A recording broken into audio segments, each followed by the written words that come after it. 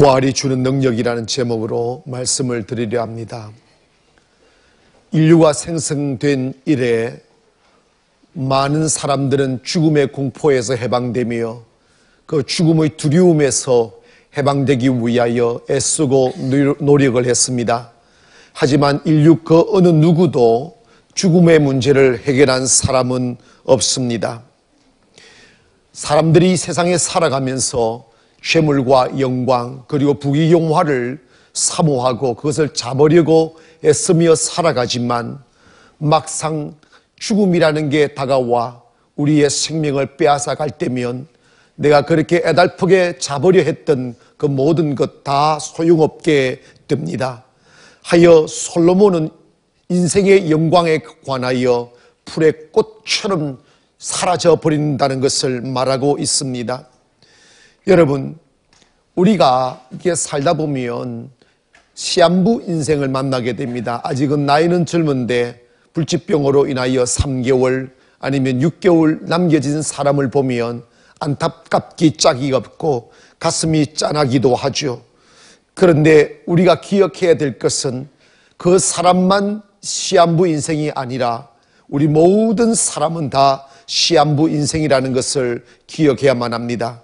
그래서 사람들은 짧게 살았던 좀 더 오래 살았던 간에 막상 죽음의 불청객이 우리 안에 우리 앞에 다가와서 우리의 생명을 내어놓으라고 말할 때 모두 다 두려워하고 어떻게 하면 이 죽음에서 몸이 날 수 있을까 생각해 봅니다. 하지만 아무도 죽음을 피해갈 수가 없습니다. 그런데 왜 기독교가 참된 복음이며 생명의 종교입니까? 그 이유는 예수 그리스도께서 죽음을 정복하셨기 때문입니다. 그분께서 이 땅에 오심, 십자가에 죽으심, 그리고 어, 고난 당하심과 부활하심은 그분만의 것이 아니고 우리로 하여금 예수 그리스도를 믿게 되면 우리도 동일하게 죽음을 정복할 수 있다는 희망을 던져 준 것입니다. 그래서 주님의 일련의 모든 과정은 복음을 완성시키기 위한 행위였습니다. 여러분 예수님께서 만약 십자가에 죽으시고 그 죽음으로 끝나버렸다면 기독교는 더 이상 생명의 종교가 될 수가 없고 우리에게 또한 어, 부활의 영광이 있을 수가 없습니다. 그러나 예수 그리스도께서 십자가에 죽으시고 그 흑암의 권세를 이기시고 부활하신 그 이후 우리 모든 그리스도인들에게 희망 하나가 생겼습니다. 그게 뭐냐면 우리 또한 영원히 죽지 아니한다는 것입니다. 우리가 많은 장례를 맛봅니다. 하지만 세상 사람들은 죽음 앞에 통곡하지요. 그런데 우리 그리스도인들은 장례식에 가면 뭐라고 찬양하느냐 하면 영광일세, 영광일세, 내가 누릴 영광일세, 은혜로 주 얼굴 배옵나니 영, 참 놀라운 영광일세라고 고백합니다. 그 이유가 뭐예요? 예수 믿으면 우리의 죽음은 끝이 아니고 절망이 아니고 또 다른 영광의 시작이라는 것을 말해줍니다. 여러분 초대교회 성도들이 예수님의 십자가 앞에서 고개 숙이고 죽음의 두려 죽음의 두려움이 무서워 몸을 숨겼던 그들이 예수 그리스도의 부활을 보는 그 순간에 모두 일어나 외치기를 시작했습니다. 뭐라고 외치냐면 어, 너희가 십자가에 못 박은 예수 그리스도는 사흘 만에 부활하셨다. 우리가 바로 그 부활의 증인이라고 외치기 시작했습니다. 여러분, 기독교는 부활의 종교입니다. 불투만은 기독교는 부활에서 시작된다고 말했습니다. 예수 그리스도의 부활은 신화가 아니라 실존하는 실제임을 믿기를 원합니다. 많은 사람들이 부활이 없다고 부정하려 할 때 바울은 이렇게 고린도전서 15장 12절에 말합니다. 그리스도께서 죽은 자 가운데서 다시 살아나셨다 전파되었건을 너희 중에 어떤 사람들은 어찌하여 죽은 자 가운데서 부활이 없다 하느냐 만일 죽은 자의 부활이 없으면 그리스도도 다시 살아나지 못하였었으리라. 그리스도께서 만일 다시 살아나지 못하셨으면 우리가 전파하는 것도 헛것이요.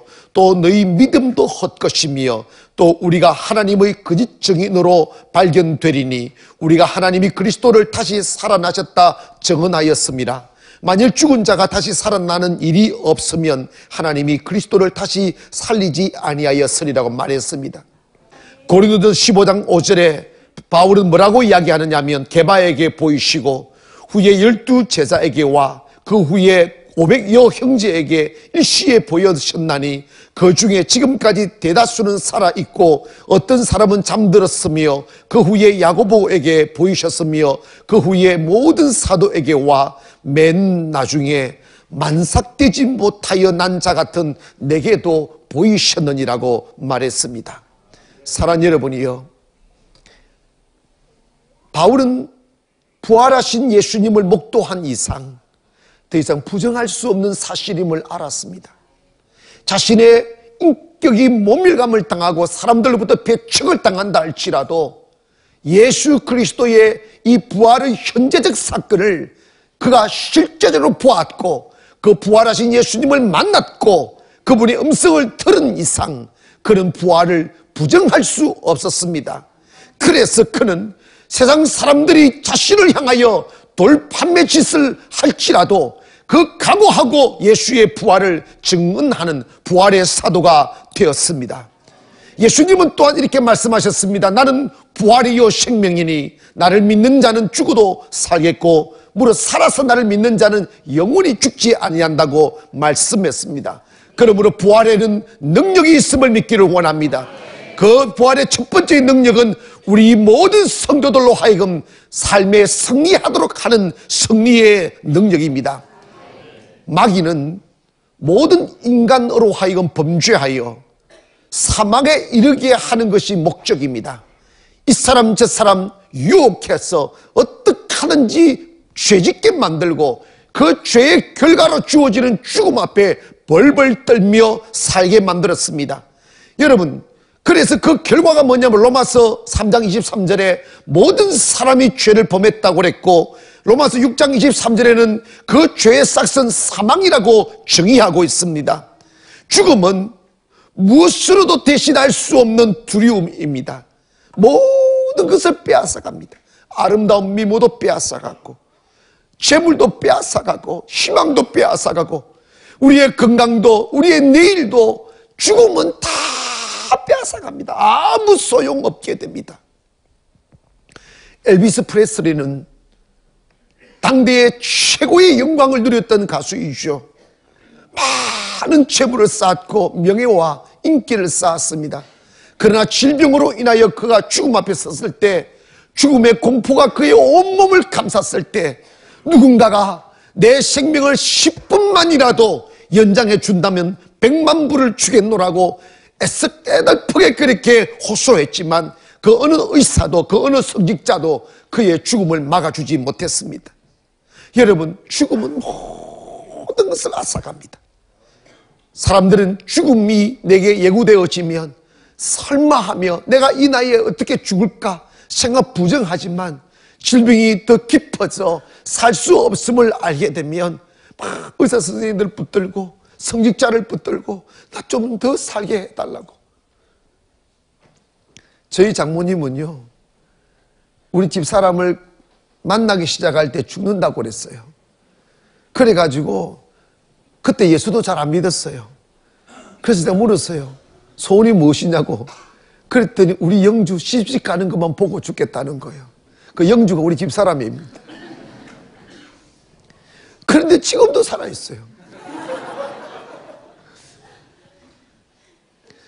여러분, 정말 죽음 앞에 서게 되면 다 두려워요. 조금만 더 살고 싶고.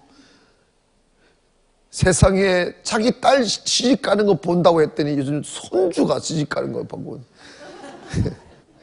그래도 더 살고 싶어 해요. 인생은요, 끝없이 살고 싶어 해요.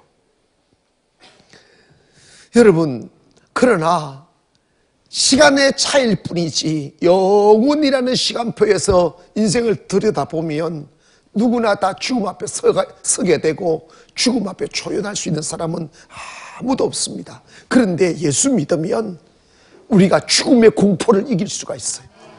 할렐루야. 죽음의 두려움에서 이길 수 있어요.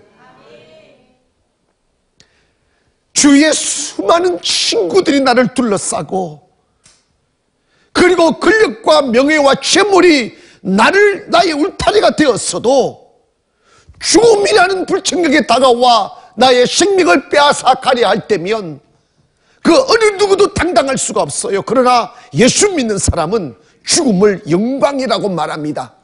두려워지지 않아요. 이건 개인적인 경험이에요. 예전에 제가 다른 도시에서 목회할 때 저희 교회에서 다니는 한 자매가 제게 기도 부탁을 하는 거예요. 목사님, 우리 아버님이 교회는 안 다니는데 지금 위독해서 죽음 앞에 섰는데 너무 무서워한다는 거예요. 그리고 말하기를 귀신들이 와서 자기 목숨을 팍 내어놓으라고 막 말한다는 거예요. 파랗게 질려져 떨고 있다는 거예요. 그래서 제가 찾아갔습니다. 찾아가서 이렇게 이런저런 이야기를 하고 무섭습니까? 했더니요. 무서워서 미칠 것만 같다는 거예요. 너무너무 무섭다는 거예요. 그래서 제가 복음을 전했습니다. 예수님이 누구시며 예수 왜 죽으셨으며 예수 믿으면 어떻게 되는지를 설명을 하고 예수 믿으시겠습니까? 라고 했더니 믿겠다고 고개를 끄덕끄덕하고 소리 낼 수 있으면 내보라고 네 라고 대답해라고 했더니 네 하고 큰 소리는 내지 못하지만 정말 최선을 다하여 대답을 하는 걸 보았습니다. 그리고 예수님의 영접 기도를 해드리고 제가 기도했어요. 하나님 이제 한평생 주 없이 죄악의 노예로 마귀의 종으로 살은 한 사람이 여기 있습니다. 생명의 부름 앞에 복음을 듣게 되었고 마치 십자가 옆에 달린 강도처럼 주님을 인정했으니 이 영혼 구원하시고 이 영혼을 어둠의 골짜기로 데려가 사망의 음침한 골짜기에 짓밟아 뿌리고 하는 이 악한 영들을 몰아내시고 주 성령께서 이 영혼을 품어주시며 천사불의 사평안을 주옵소서 라고 기도하고 예수님의 이름으로 기도합니다. 라고 하고 얼굴을 봤더니 얼굴에 근심이 사라졌어요. 평화 찾아왔어요. 그리고 평화로운 얼굴로 죽음을 맞이하는 것을 보았습니다. 사랑 여러분이요. 예수 그리스도의 부활은 우리의 질병, 가난, 실패, 절망, 그리고 죽음의 공포에서 우리를 해방시키는 능력입니다. 그러므로 예수의 부활을 믿음으로 말미암아 내일을 두려워하지 말고 어떤 일을 만나도 담대하기를 원합니다. 바울은 이렇게 고백합니다. 고린도서 15장 55절에 사망아 너의 승리가 어디 있느냐? 사망아 내가 쏘는 것이 어디 있느냐? 사망이 쏘는 것은 죄요 죄의 근능은 율법이라 우리 주 예수 그리스도로 말미암아 우리에게 승리를 주시는 하나님께 감사하노라. 부활은 우리에게 승리를 주는 능력입니다.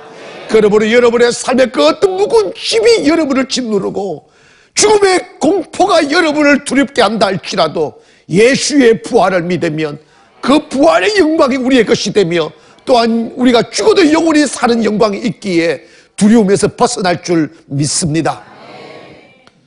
두 번째로 기억할 것은 부활의 주님이 우리에게 주신 것은 삶의 변화를 주는 능력입니다. 여러분, 예수님 당시에 예수 그리스도의 부활을 믿지 아니하고 그 부활의 사실을 부정하고 은폐하려고 했던 세력들이 있었습니다. 그래서 예수님의 무덤을 로마 군병들로 하여금 지키게 했고 예수님이 부활했다는 사실들이 퍼지기 시작하니까 사람들을 시켜서 예수님이 죽은 게 예수가 죽은 게 아니고 잠시 기절했다가 깨어났다고 말해라고 하는 사람도 있고 또 어떻게 또 가르치느냐 하면 예수의 제자들이 예수님을 너무 사모하다 보니까 예수가 부활한 게 아니고 그들의 환상 속에서 나타났다. 그래서 예수의 부활이 환, 환상설을 퍼뜨리던 사람들도 있습니다. 그러나 여러분 예수님이 부활했다는 것을 증명하는 것 하나 있어요. 그게 바로 빈 무덤이고 예수님의 제자들의 모습이었습니다. 여러분 예수님의 제자들은 예수님의 직접적 가르침을 받고 동행했던 사람이지만 예수님의 십자가의 공포 앞에 모두 다 몸을 숨기며 나 저를 모른다 부인했던 사람들입니다. 죽음이 두렵고 그리고 미래가 없을까봐 두려워 몸을 숨겼던 그들인데 부활하신 예수님을 만난 뒤에 그들이 어떻게 변했느냐 하면 너희가 십자가에 못 박은 예수 그리스도는 죽은 지 사흘 만에 살아나셨느니라 우리가 이 일의 증인이라고 말하며 그들은 주님의 부활을 증거하기 시작했습니다. 그리고 예수의 부활을 증거하지 말라고 위협하고 만약 계속 그렇게 절하면 죽이겠다고 협박했을 때 사도행전 4장 18절 이하에 우리가 하나님 앞에서 너희 말 듣는 것이 하나님 말씀 듣는 것보다 옳은가 판단하라. 우리는 보고 들은 것을 말하지 아니할 수 없노라고 말하면서 주님의 십자가의 죽으심과 부활을 증거하기 시작했습니다. 그리고 난 뒤에 그들의 모습을 성경은 어떻게 기록하느냐 하면 누가복음 24장에 가니까 엠마오로 가는 두 제자가 있었어요.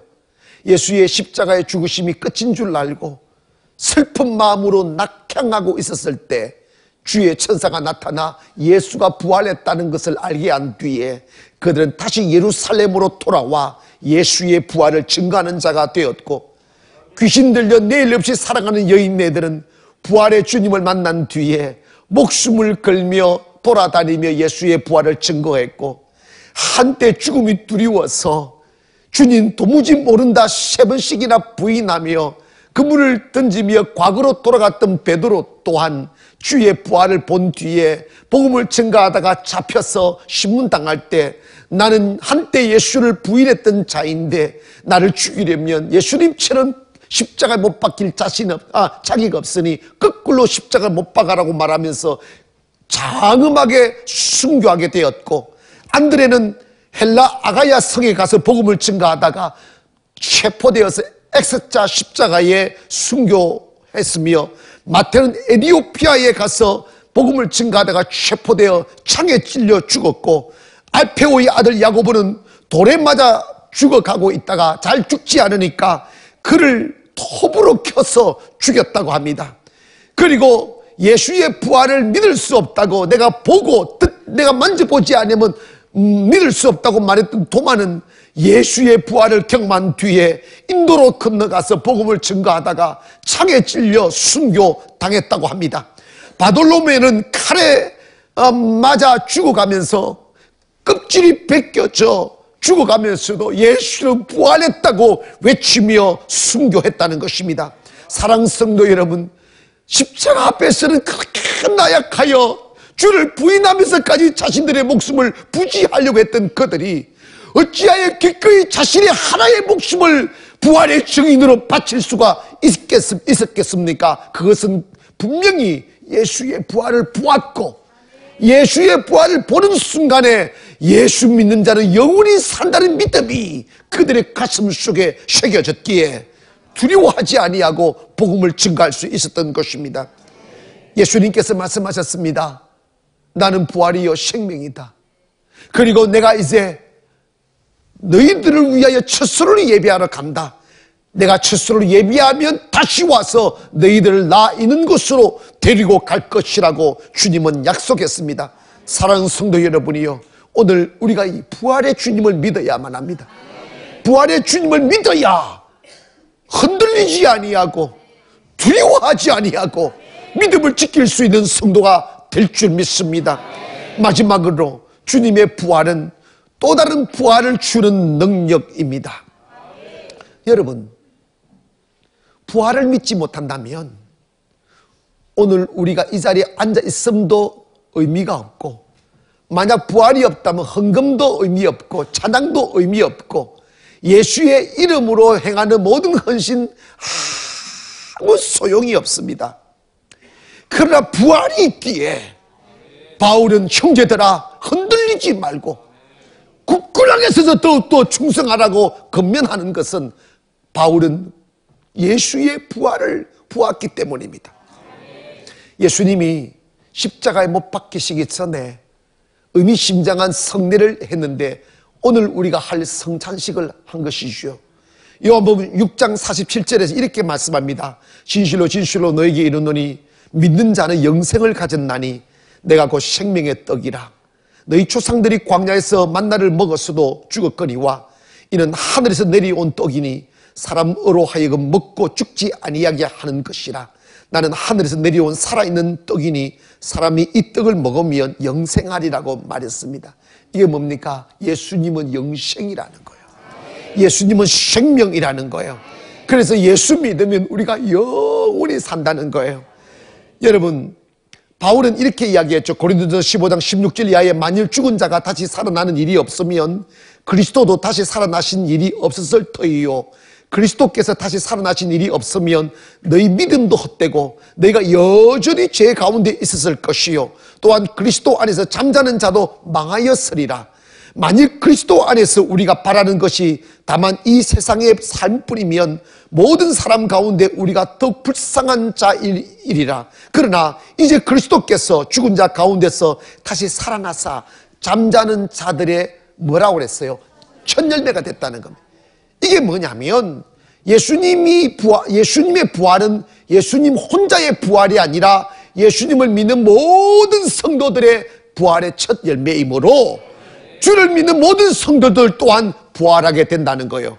그러면서 고린도전서 15장 51절에 보라 내가 너희에게 비밀을 말하노니 우리가 다 잠잘 것이 아니요 마지막 나팔에 순식간에 홀일이 다 변화되리니 나팔 소리가 남의 죽은 자들이 썩지 아니할 것으로 다시 살아나고 우리도 변화되리라고 말씀했습니다. 이 말씀의 의미는 예수 그리스도를 믿으면 우리도 예수님처럼 부활한다는 거예요.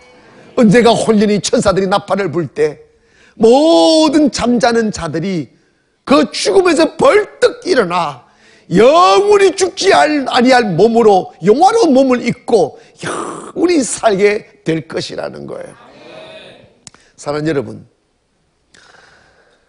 여러분이 부활하면 몇 살 때 나이로 부활하시겠어요?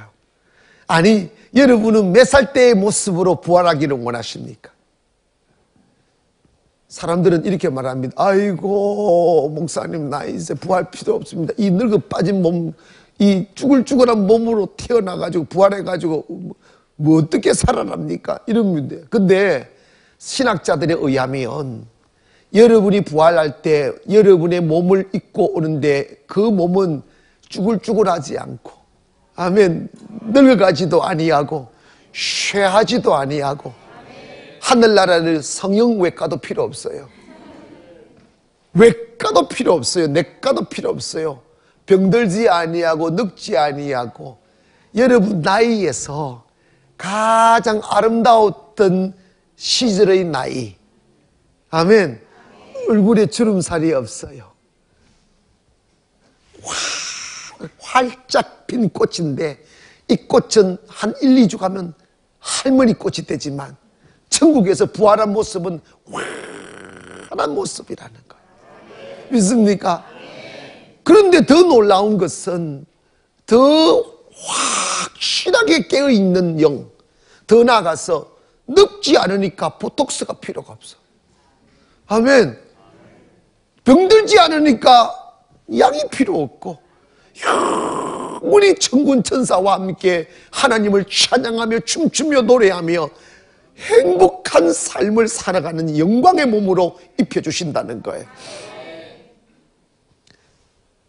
저희 넷째 형이 장로였습니다. 그런데 음식 조절을 잘 못했는지 위암에 걸렸어요. 부산 고신대 병원에서 이렇게 수술을 했는데 의사 선생님이 어떻게 잘못했는지 이렇게 떼어내고 개복 수술을 했는데 혈관을 다 잊지 않았는가 봐요. 그리고 퇴근을 해버린 거예요. 밤새도록 이게 속에서 피가 다 나버린 거예요. 얼굴이 초차한데 목숨은 잃어가니까 저 형수하고 두 딸이 있는데 두 딸이 막 아버지 죽는다고 아버지 죽었다고 막 우는 거예요. 근데 이제 형이 이제 저한테 한 이야기가 자기의 영혼이 몸에서 빠져나오는데 자기가 침대에 누워있는 그 모습이 그대로 보이고 머리맡에는 아내가 있고 양 사이에는 두 딸이 어, 선이와 양이가 막 울고 있는 모습을 보면서 자신의 영혼이 몸에서 쭉 빠져나오더라는 거예요. 쭉 빠져나오는데 자기 의지와 관계없이 영혼이 붕 떠서 하늘로 쭉 올라가는데 저 형은 저, 저를 안 닮아가지고 착했었어요. 그래서 예수님이 탁 오시더니 손을 툭 잡아주면서 김장로야 수고했다 이러더래요. 그 형은요 시골에서 태어나서 시골에서 어, 살아가면서 농사 지면서 어릴 적부터 하, 새벽 기도를 그렇게 열심히 했어요. 농사 일하면 얼마나 피곤합니까? 저는 일어나기 힘들은데 벌 떡 일어나서 그게 샘가에 가가지고 물 한 바가지 끌어 올려가지고 그걸 찬물로 세수 확 하고 어, 교회 가서 새벽 기도 하고 일하고 이런 삶을 하고 그저 교회밖에 모르고 살았는데 그래서 털렁 죽은 거예요. 죽었는데 이게 하늘나라로 싹 올라가니까 이게 너무 행복하고 좋아서 웃음밖에 안 나오더라는 거예요. 향기 나고 그 영광, 그 아름다움, 그 평안함은 세상에서 단 하루도 경험하지 못한 축복이고 평안이었다는 거예요. 근데 예수님이 물어보시더라는 거 김장로야. 니 너무 빨리 갑자기 왔는데 세상에 잠시 갔다 올래? 그냥 여기 있을래? 그런데 가슴에는 너무너무 천국에 그냥 있고 싶더라는 거예요. 그런데 돌아보니까 여전히 병상에서 아내는 통곡하고 있고 두 딸은 막 울고 있는 그 모습이 보이고 들리더라는 거예요. 그래서 갑자기 인정이 발동돼 가지고 두 딸이 너무 불쌍하더라고 불쌍하게 느껴져서 예수님 잠시만 좀 갔다 오겠습니다. 그랬더니 보내주더라는 거예요. 그런데 아침 7시쯤에 이게 어떻게든지 깨어난 거 이게. 깨어나 가지고 자기가 깨어나자마자 아내와 딸한테 막 화를 냈다는 거예요. 왜 내 천국 가서 좋았는데 왜 이렇게 슬피 울어가지고 내 마음 약하게 만들어서 다시 오게 만들었냐고. 천국이 너무 좋더라는 거예요. 여러분, 그래서 우리가 그리스도인들이 세상을 떠나면 통곡하지 않아요. 아멘 합시다. 저는요, 한 번은 교회 안 다니는 사람, 저, 인, 그 인맥이 있어가지고 교회 안 다니는 사람 장례를 가게 됐어요. 근데 이렇게 쭉 들어가니까 그 상주들이 사람들이 잘안 왔는가 봐. 이게 뭐, 이게 뭐 깔아놓고, 아, 담요 깔아놓고 이거 하고 있더라고요. 이거 하고 있는데 제가 떡 가니까 갑자기 일어나더니 아이고 아이고 이러는데 제가 민망하더라고요. 그거 왜 하는지 모르겠어요. 그런데 우리 그리스도인들은 세상을 떠나면 뭐라고 하느냐면 영광일세 영광일세 내가 누릴 영광일세 은혜로 주 얼굴 배옵나니 지극한 영광 영광이로다. 영광일세 영광일세. 내가 누릴 영광일세. 우리 그것만 해봅시다. 시작. 영광일세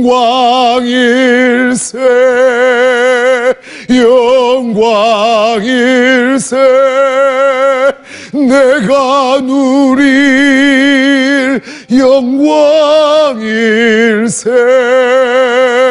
은혜로 주 얼굴 배옵나니 지극한 영광 내 영광일세 왜 그럴까요? 죽음은 부활의 영광으로 직행하기 때문입니다. 사랑 여러분이요. 우리 예수님의 부활이 예수님만의 것이 아니라 저와 여러분의 부활임을 믿기를 원합니다.